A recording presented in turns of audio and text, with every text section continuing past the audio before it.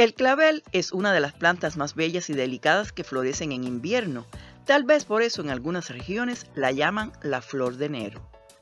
Es bien conocido desde la antigüedad clásica debido a su origen euroasiático, siempre en el camino de todas las rutas comerciales que conectaban el Mediterráneo con el Cáucaso y el Asia Central. Dice la leyenda que Carlos I de España y V de Alemania, el gran emperador, mandó alfombrar los jardines de la Alhambra con claveles rojos, que era la flor favorita de su reina Isabel de Portugal. Pero su popularidad viene de la época del Imperio Romano, donde se le asociaba con el matrimonio y el amor. Pero aún hay más. Una historia de amor que pasó a la literatura y fue vivida en Francia por el marqués de Roubich y la reina María Antonieta. Ella, apresada y a punto de ser ejecutada en la guillotina, recibió la visita del caballero y cuando éste se fue, dejó caer un clavel rojo en su celda, en cuyos pétalos escondía un plan de rescate que finalmente no funcionó. Resulta además curioso que en los retratos renacentistas, muchas de las figuras, sean damas o caballeros, sostienen con delicadeza un clavel en su mano, y es que en esa época el clavel simbolizaba algo así como un anillo de compromiso.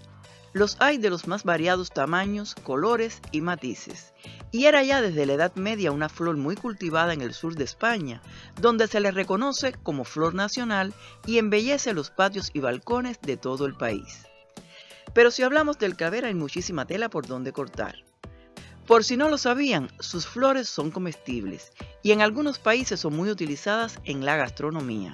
Sus pétalos, de sabor neutro, se utilizan para platos de carne, pescado y salsas, además de vinos.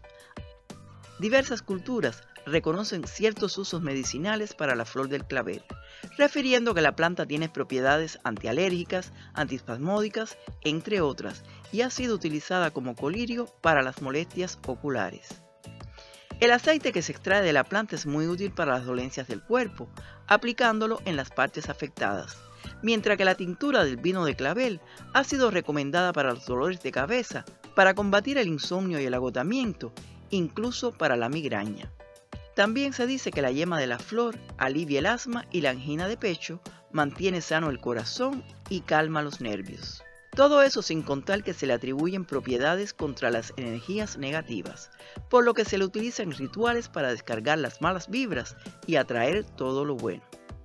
Por eso se le usa para realizar limpiezas energéticas, mejorar la situación económica o fortalecer el amor, y aseguran que brinda fuerza y protección, por lo que muchas personas la siembran en maceteros junto a la puerta de entrada de su casa.